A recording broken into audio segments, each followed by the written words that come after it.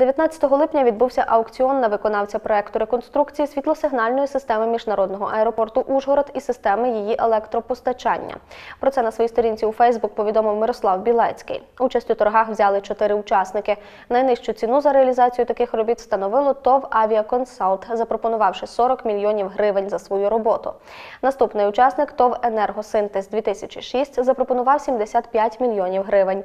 Найвищу ціну встановило ТОВ Рікдом майже 80 мільйонів гривень. Наступний етап перевірка пакету документів кожного учасника. Тендерний комітет повинен ознайомитися з усіма паперами, визначити, чи відповідають вони вимогам, і таким чином обрати переможця. Опісля, згідно із чинним законодавством, буде відведено 10 днів на оскарження рішення. У дописі йдеться, що вже до кінця липня планують точно дізнатися, хто реконструюватиме світлосигнальну систему нашого литовища, яка вкрай потрібна для його подальшої продуктивної роботи.